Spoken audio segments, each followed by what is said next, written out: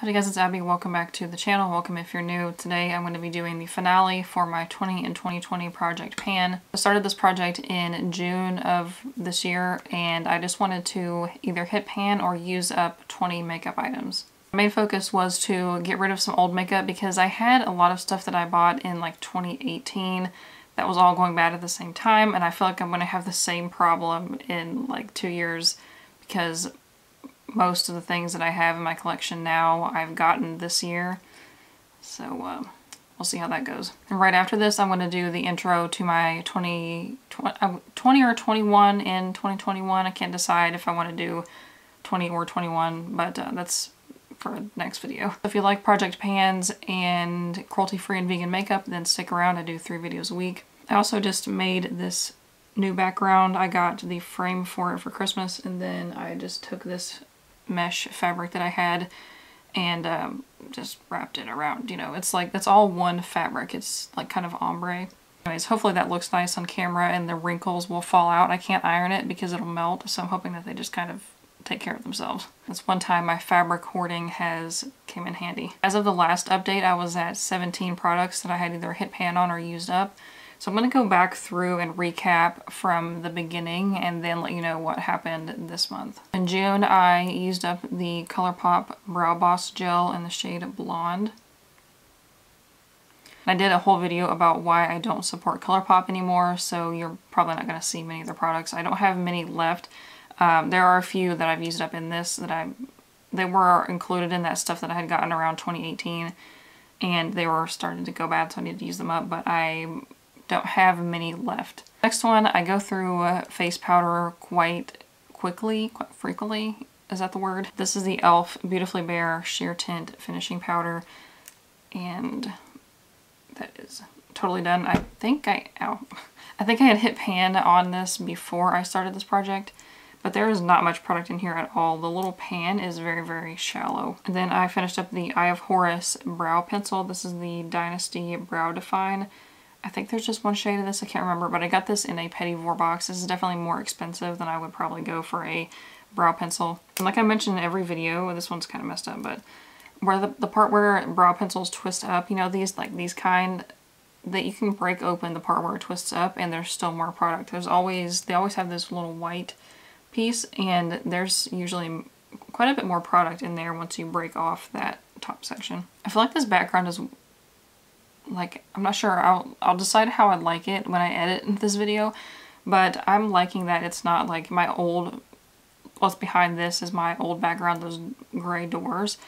And the camera didn't want to like stay focused on me. It wanted to go back and forth between the doors because like the stark contrast of me pale and blonde hair versus a dark background. It kind of freaked out the camera, so I'm hoping that this is going to be better. In July, I finished up a ColourPop concealer. This was in the shade Fair 4 in their No Filter concealer.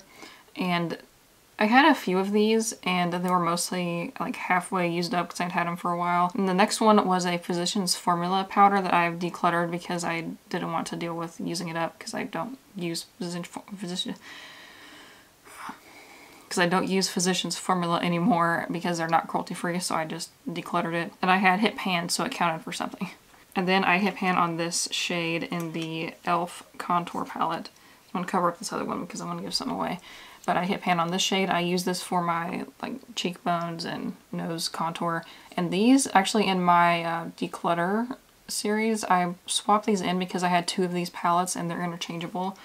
And so I just switch those blushes into there. So I did a ton of stuff in August. The NYX On The Rise mascara, this was okay. It wasn't like, I I don't know, I just don't feel strongly about mascaras most of the time, so this was alright. I might buy it again. And then I had one of the Milani Make It Last setting sprays. I already have another one going. Then I hit pan on another e.l.f. Beautifully Bare powder, but I actually finished it up uh, later on, so it kind of counted for two. And then I had hit pan in a ColourPop highlighter, which I have since decluttered. Then the Ulta, the e.l.f. Ultra Precise Brow Pencil, and this is the shade Taupe, I'm pretty sure, yes. And this one, again, I broke it open. I quit using these. I have one that's open right now, but I don't use it as much. I'm trying to go for like more pomade style ones because I go through these so fast and I feel like it's a lot of waste. I used up another one of the ColourPop concealers. This was the shade Fair 8. I don't know what, like all the ones I used up were different shades and they all worked for me. Like that's one of the issues that I had with them, but anyways. And then I finished up a stick foundation. So this is the Anastasia stick foundation in the shade Warm Ivory. And I just used it until I couldn't really put it on my face anymore. And I didn't really like this anyways. It didn't last very long and it just kind of looked terrible if my skin was a little bit flaky. Because I have a combo to sometimes oily, sometimes dry skin, so it really depends on the weather and how I'm keeping up with my skincare. But this didn't look great. And the only thing in September was this NYX Matte Finish Setting Spray. And I would use this underneath of my makeup, like before even primer. So it would control oil before it got to my makeup, you know, if that makes sense. And then in October, I finished up that e.l.f. Beautifully Bare powder. Then in November, I kind of used up this Milani Eye-Tech Extreme eyeliner. The problem with it is that it had product, but the product wouldn't go all the way down to the tip of the thing. So it was just kind of going halfway and wasn't working the way it was supposed to, so I just called it done. I think the the cap doesn't close very tightly on it, so maybe it dried out. With eyeliners, I prefer now this this style from e.l.f. or Milani has ones too, like other brands have this kind, but it's got a little pot in the bottom, and there's way more product and it doesn't dry out as fast as a pen style one. And then also in November, I finished up the ColourPop No Filter Foundation. I took one of those little spatula things and scraped it out, but it somehow just like ran back down. I don't know, it looks like it's not empty, but it is. And that was the shade uh, Fair 30. At that point that was 17 products and then now this month I finished up the ColourPop No Filter Concealer. Where did I put it? Oh. The No Filter Concealer in the shade Light 10. So I had three different shades of this that all worked for me just fine.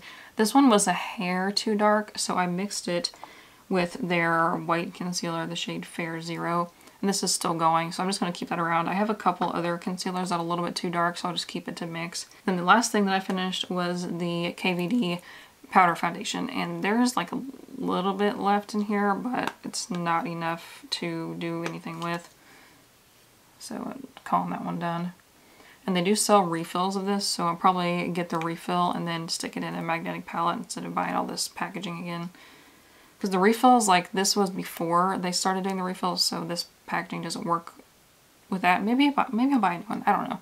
So that was only 19 products done. I have one or two, no, just one that's really, really close. So I'm like, don't feel too bad about not making it. So like I, I covered up that one in this e.l.f. palette, but it, I was working on this highlighter shade from the e.l.f. palette and look like, like, see how little there is left? Like maybe three more uses. I don't know. With this one, it's not a really intense highlight, so I put it like under my eyes and on this area to kind of make my contour look sharper, I guess, and uh, on my forehead and stuff. So it's goes pretty fast, but um, so I don't feel too bad about not hitting the 20 because I'm pretty close on that one. So stick around. The next video is going to be my 2021 Project Pan intro. And click up here to watch my most recent video or click up here to watch another video that I think you will like. And give this video a thumbs up and subscribe so you don't miss seeing my face in your subscription box every Tuesday, Thursday, and Saturday. Links to my social media, anything else that I mentioned in this video will be in the description box below. And I'll see you guys in the comments. Bye.